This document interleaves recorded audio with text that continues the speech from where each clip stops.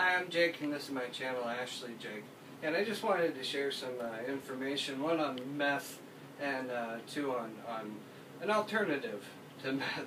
Uh, I watched uh, recently uh, on YouTube, uh, National Geographic uploaded um, Dopelandia, and if you watch it, um, it's about Portland and kind of a meth epidemic there.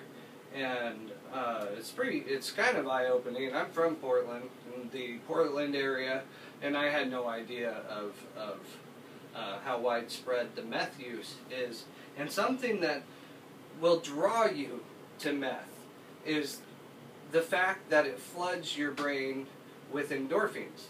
That's that's the whole effect. It gives you energy and it makes you feel really euphoric. And what that is is your brain overflowing with happy juice. That sounds right, or that sounds awesome, right? You're energetic and you're flooded with happy juice for like three days. But here's the problem. None of these young kids have been in rehab. I've been rehab twice.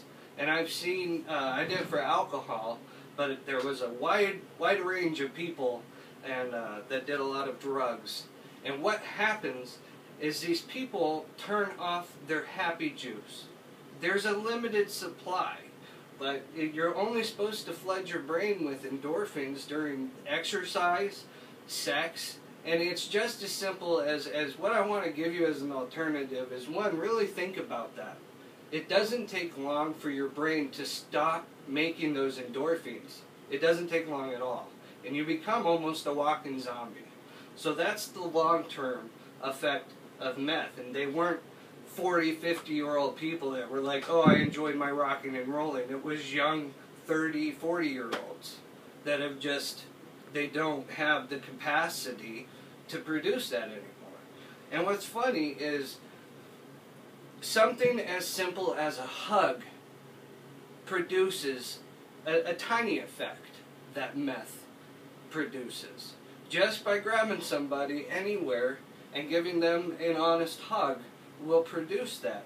So I'm thinking if, if you need an extreme, right? If you're sitting there and you're going, I want to try the effects of flooding my brain, there's things in, in Portland and, and in the cities that, that I've seen that's kind of neat, and you can see it on YouTube, is cuddle parties. This is where people get together and they've made sure that when they're in a safe environment, that, that it's not sexual and that's not even the basis of it.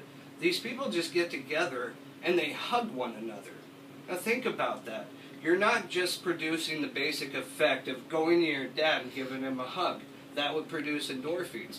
But if you go to a cuddle party, one, you're going with a bunch of strangers. So at first, you're going to be kind of terrified because you don't know any of these people. And once that terrified goes to relax because watch the videos on YouTube, it's a very relaxing kind of event. That release from the initial tension is going to cre create an even bigger endorphin injection. So if you need that, if you're going, I want to feel that flood, don't do something that's going to wreck your brain and take away your happy juice. Go and do it naturally. And if you need to, think about the things that make your brain happy. Think about the stuff that makes you feel euphoric. When you think about stuff that you've done, makes you feel euphoric. Chase that because that won't stop the happy juice. Meth will stop your happy juice, and it's the closest thing to a living zombie I've ever seen. And it, it's sad, and I'm not trying to make fun of anybody who's gotten to that point. But when you've damaged yourself so much that nothing you pursue makes you happy anymore, you're a very unhappy, angry person. And it, it really is. It's the closest thing to a blinked slate zombie, and it's sad. So try a cuddle party. That's all I'm saying, and it's a suggestion.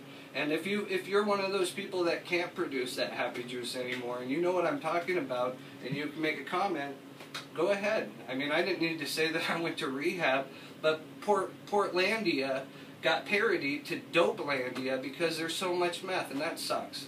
Because I love Portland, and that shouldn't be the parody. That shouldn't be the situation. So that's that's me for for a video. Look for more. Uh, does it make you want to play it? Uh, those are my my themed videos. So thank you very much. Like and subscribe.